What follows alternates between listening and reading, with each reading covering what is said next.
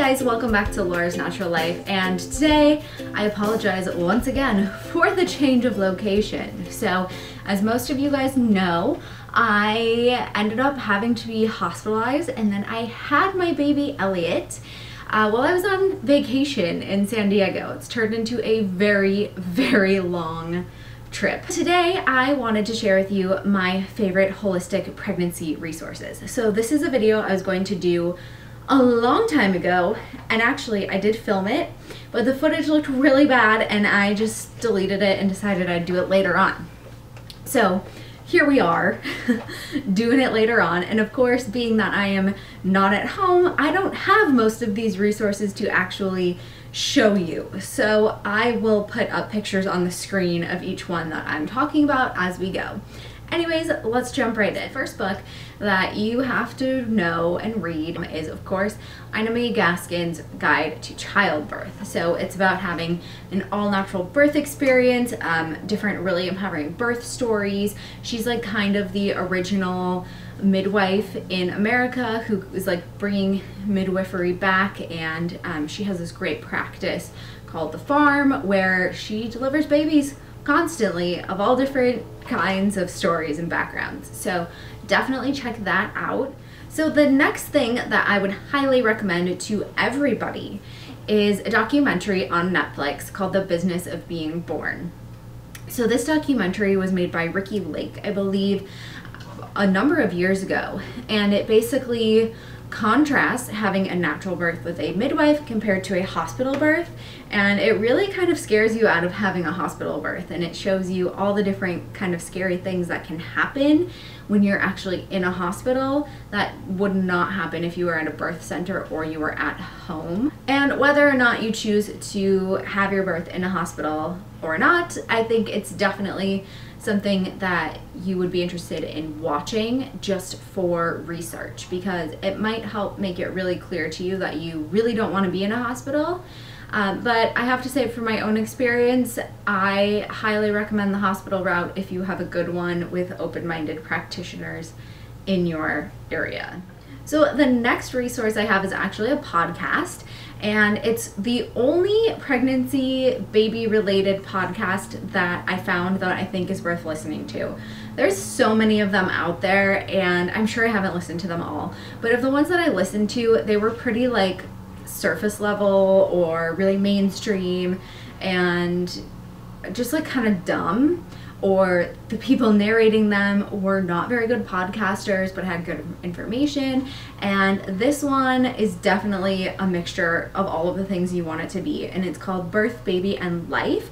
Uh, the person who runs it her name is kristen burgess and she has like a plethora of resources online for natural pregnancy natural parenting and she actually does have like courses and books and uh, one-on-one consults too. But i really like her podcast. It doesn't come out very regularly unfortunately but she does do live youtube videos a lot which i actually don't watch. Um, but i do get her newsletter and i see that she does those a lot. I just prefer to listen to her via podcast. And definitely go back in her archives and download the ones that you think would be really relevant she has one that's my absolute favorite, and I think it's something along the lines of being afraid of childbirth, something about fear of childbirth, you definitely, definitely need to listen to it because. So the next three that I have are actually bloggers or websites.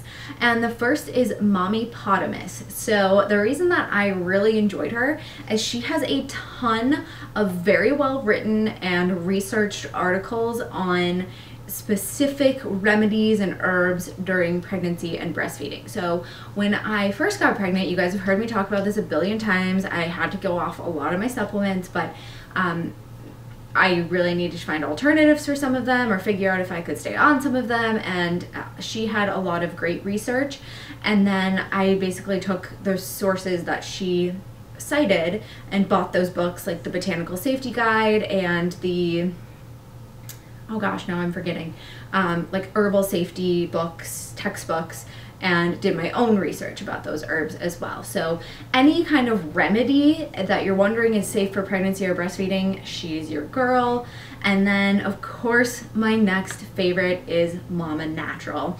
And Mama Natural has like all of the things. So, first thing you should do if you're pregnant is go to her website and sign up for her weekly pregnancy emails. So they're kind of like what you get on your app, like how big your baby is, but they're a lot more in depth and more holistic in nature in that they kind of give you what's happening to your baby, of course, this week in development, but also certain tests that are on the horizon, the pros and cons of both. She has a really good article on ultrasounds if you're debating how many ultrasounds you want to do or if you want to do them at all. I plan to do two. That plan got very much thrown out the window. We had, I think, Eight. seven or eight. Eight. Eight. The hub says eight. We had eight. Um, three of which happened in a 24 hour. Nope, I take that back.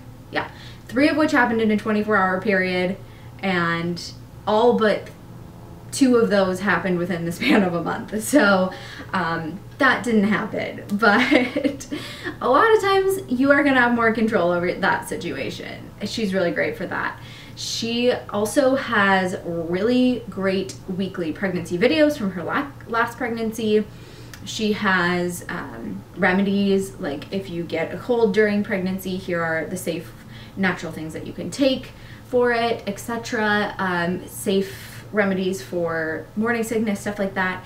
And then she also has affirmation cards. You've heard me talk about her affirmation cards all of the t- in like every pregnancy video. Like if you're pregnant, you want to have a natural birth or a natural pregnancy, you just want to have like a calm, relaxed pregnancy of any kind, and you like affirmations. Get her affirmation cards. They're $16. They're so worth it. They're adorably illustrated as well. I actually do have those with me, so I'll insert a little clippy clip. But she also has a birth class. And her birth class is taught by herself and a doula and nurse.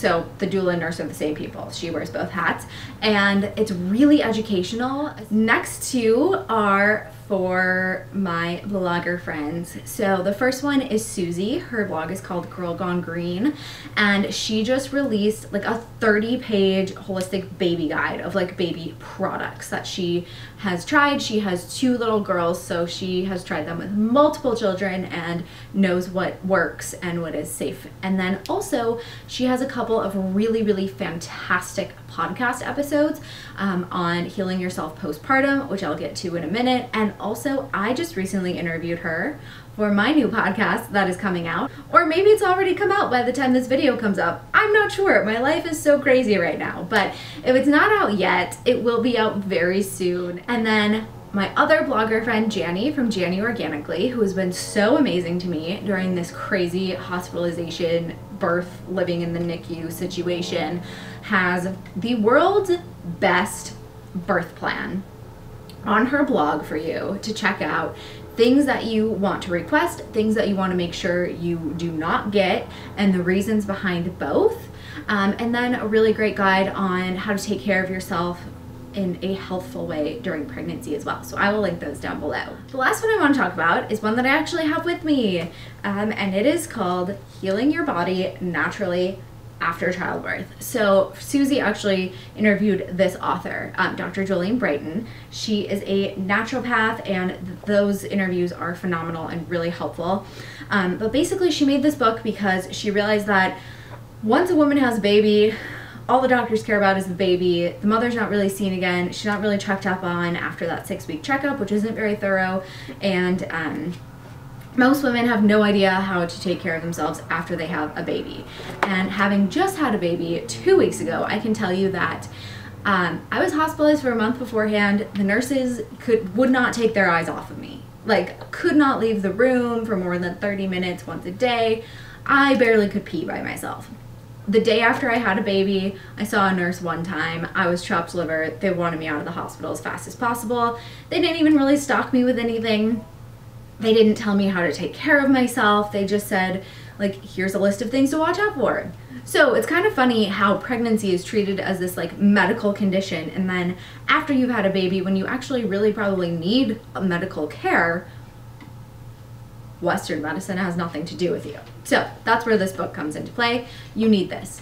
It is so easy to read. Like I read this in an hour the first time because it's meant to basically be a guide that you can keep in your diaper bag and say you're having you think you have mastitis, you flip to the page on mastitis, it tells you what to do kind of a thing. Um, and they're all natural remedies, and it goes through lab tests that you may want to ask your practitioner to run. Uh, last thing I want to just plug real quick is not a book, a podcast, a video, anything like that. Highly consider chiropractic and acupuncture. They're really going to help you be able to cope with all of your hormonal changes, your physical symptoms, and then chiropractic especially help your hips get in line to birth that baby. So I hope that you guys enjoyed this video. Thanks for bearing with me in this crazy season of my life and all of my background changes. And thank you guys so much for all of your support and I will see you in the next video.